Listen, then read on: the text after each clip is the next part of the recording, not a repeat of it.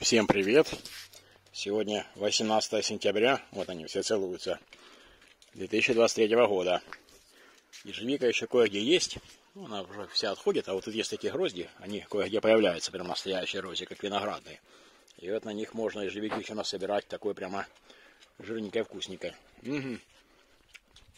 Сейчас покажу еще такое удивительное, ну, ничего удивительного, уже многие показали, как у них там цветут всякие Собственно, что всякие. У меня тоже вон цветут. Вон какие трехметровые.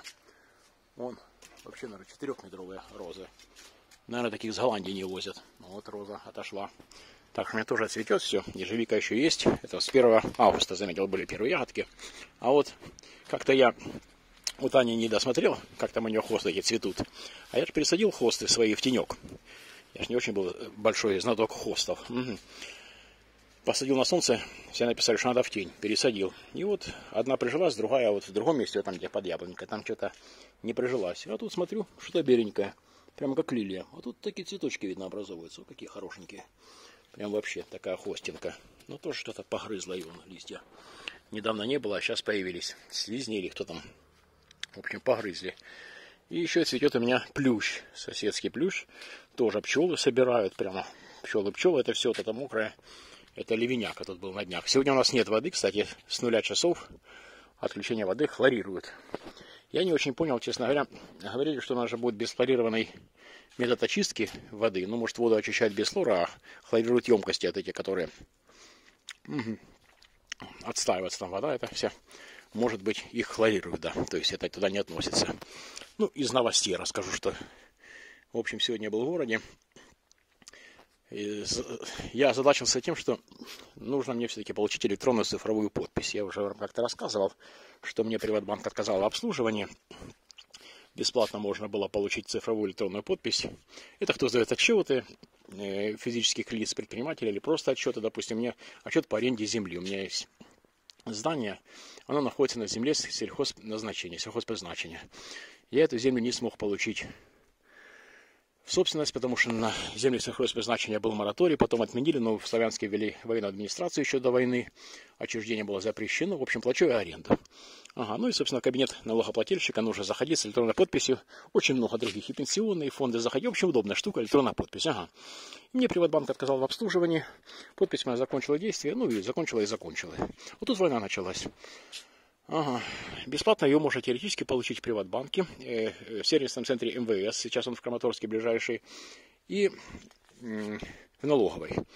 Налоговая не работала у нас, полтора года не работала. Я звонил своему инспектору, говорят, нет, мы не работаем. Вот сегодня я случайно был в центре узнал, что налоговая открылась. Да, кстати, вот новость, наверное, от меня будет всем известно, что у нас заработала налоговая. Ограничено там, но уже можно зайти, что-то там сделать. Наверное, РРО зарегистрировать что-то там, вот, пока буду собачек показывать, что-то там можно сделать. Но по поводу подписи мне сказали, что реестры пока отключены. Через пару недель, может быть, там как-то включатся.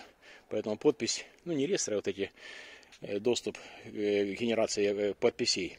Что еще мне нужно? Я плачу каждый год за кусочек дома, там за метр с чем-то, и за свое еще одно здание нежилое. Налог на недвижимость тоже. В прошлом году я не заплатил. Как-то до этого я не платил, мне там насчитали пеню, хотя мне так и не вручили квитанцию. Не знаю, ага. Тоже, поэтому надо следить самому в кабинете, потому что все думают люди, да, пройдет, пройдет, а потом они приходят, все это с пеней. Все эти налоги, ага. Тоже сказали, что через пару недель смогут выдавать эти ордера и за прошлый год, и за этот, не знаю, с пеней, без пени мне выдадут.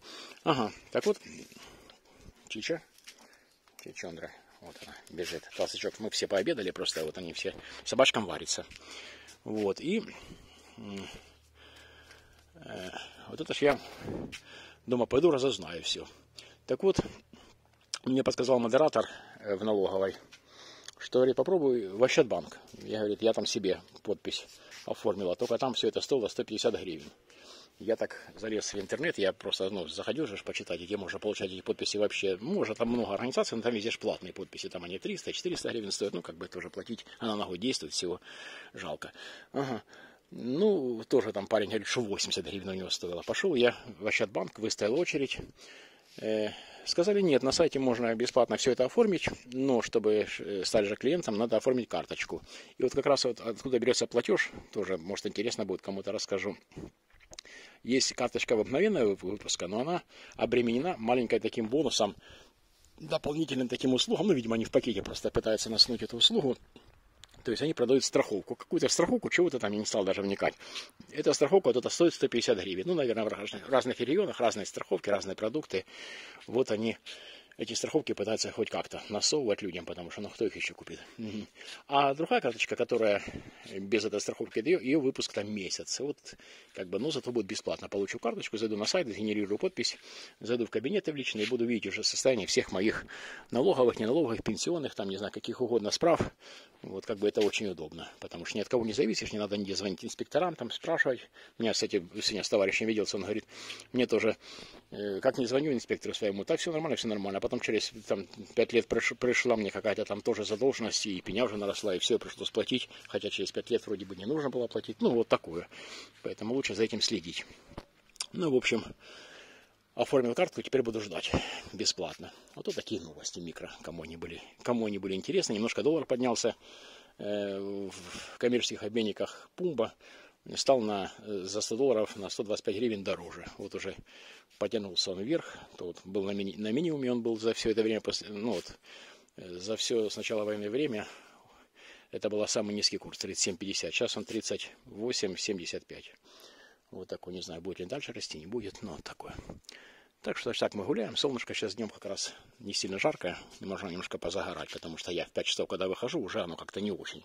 Даже вообще оно не жаркое, никакое. Погуляем сейчас, собачек покормим, хлеб испечем и будем уже дома. Так что всем желаю хорошего дня, хорошего настроения. Вот такие микроновости сообщил, что там, может быть, просто их никто другой не расскажет, хотя не думаю, что они кому-то и важны, но на всякий случай. Всем пока.